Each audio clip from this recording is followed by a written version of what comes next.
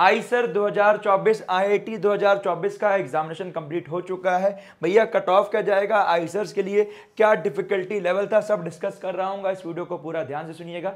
Channel को subscribe नहीं किया, कर लीजिएगा। क्योंकि आपके भैया, आपको कॉलेज छोड़ के आने तक पूरा साथ देंगे। जब तक आपको ऐसा नहीं मिल जाएगा, आपके भैया आपको कॉलेज छोड़ के साथ देंगे। एंड कभी बच्चे पूछते हैं, भैया, आप कौन से कॉलेज हो? IISER Bhopal alumnus and साथ ही में काफ़ी सारे बच्चों के मन में डाउट ये रहता है कि, भैया कॉलेज कैसा है? क्या क्या चीज़ें होती हैं? तो मैंने प्लेसमेंट के रिगार्डिंग आपका पूरा डिटेल वीडियो बना दिया है कि, भैया पीएचडी वगैरह के लिए क्या अपॉर्चुनिटी है? प्लेसमेंट के लिए क्या अपॉर्चुनिटी है? इस वीडियो को ज़रूर चेकआउट कीजिएगा। आप डालोगे सैलरी प्लेसमेंट आपको मिल जाएगा। या मैं आई बटन डिस्क्रिप्शन में डलवा दूँगा। ठीक है बट सब्सक्राइब करके नीचे लिंक का डिस्क्रिप्शन में दिया गया टेलीग्राम चैनल का ज़रूर ज्वाइन कीजिएगा। वहाँ आपके जैसे बहुत सारे एस्पेरेंट है, जो भी आपके डाउट्स आप पूछ सकते हैं। अगली मेन इंपॉर्टेंट बात, कि डिफिकल्टी लेवल कैसा था पेपर का? तो इस बार का पेपर बिल्कुल मॉडरेट रहा। आप देख सकते हो जो आपका फिजिक्स थी मॉडरेट कुछ सवाल आपके ट्रिकी लगे। बात करें केमिस्ट्री मॉडरेट थे, इसमें कुछ सवाल आपके ईजी भी थे। मैथमेटिक्स मॉडरेट कुछ सवाल आपके लेंदी थोड़ा टफ थे बट बायो आपकी ईजी आई हुई थी। अपना रिव्यू ज़रूर कमेंट कीजिएगा। एंड इस बार जो नंबर ऑफ़ एस्पायरेंट्स है in comparison to past year ज़्यादा है। तो थोड़ा सा कट ऑफ़ ऊपर जाने के चांसेस है। क्या रहने वाला पूरा डिस्कस कर रहा हूँ आपके कितने नंबर एक्सपेक्टेड है, मुझे ज़रूर स्टूडियो कमेंट करके बताइएगा। एंड परेशान मत होइएगा। अपने ऊपर रखिएगा भरोसा। सिलेक्शन आपका ज़रूर होगा। अगर नहीं भी होता है तो बहुत सारे ऑप्शन हैं। तो फिर हम उसमें ट्राई कर रहे हैं। फॉर एग्ज़ाम्पल इसमें बहुत सारे बच्चे जेई के होंगे। बहुत सारे बच्चे नीट के होंगे। तो उसमें आपको जो बेस्ट रहेगा आपको सजेस्ट कर रहे होंगे। तो ये डिस्कस करते हैं अगला पॉइंट आपका अगर आप आई के ट्राई कर रहे हो तो ये आपका जनरल कैटेगरी बच्चों के लिए है।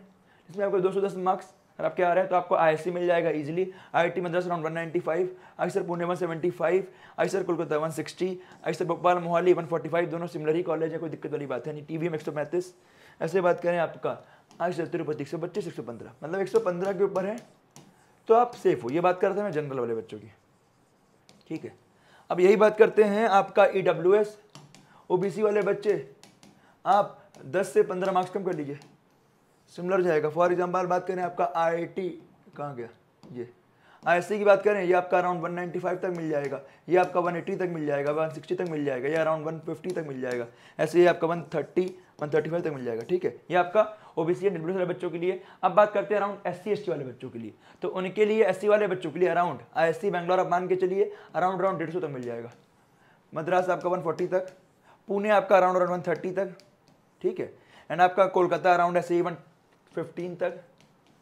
ऐसे आपका भोपाल अराउंड 105 तक एंड ये आपका पंचानवे मार्क्स तक।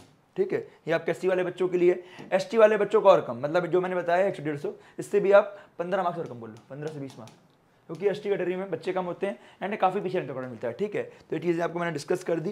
किसी के मन में कुछ डाउट होगा, इस वीडियो के नीचे कमेंट करके बताइएगा। आपको और कौन कौन से वीडियो चाहिए? Regarding I sir campus tour हो गया। अगर आपको और कुछ जानना है, आप मुझे सब बताइएगा।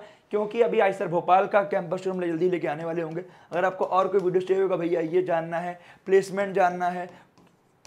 और अगर आपको वो जानना है कि भैया एक्यूरेट क्या कट ऑफ़ गया है पास्ट ईयर में, अगर आपको सारी चीज़ जानना है तो मुझे स्टूडेंट नीचे कमेंट बताएगा सब्सक्राइब नहीं किया, कर लीजिएगा, क्योंकि आप खुद सोचिए। आपको सारी चीज़ें डिटेल में टाइमली पता चल रही होंगे। जैसे पहले सालों में आपका प्रेफरेंस ऑर्डर पहले से भरवा लिया जाता था। इस बार ऐसा कुछ नहीं हुआ है तो काउंसलिंग में क्या चेंजेस आते हैं, सब डिस्कस कर रहे हैं, उसके लिए परेशान मत होगा मिलते हैं आपसे वीडियो में वीडियो नीचे कमेंट बताइएगा आप कितना एक्सपेक्ट कर रहे हो, आपके कितने मार्क्स आ रहे हैं।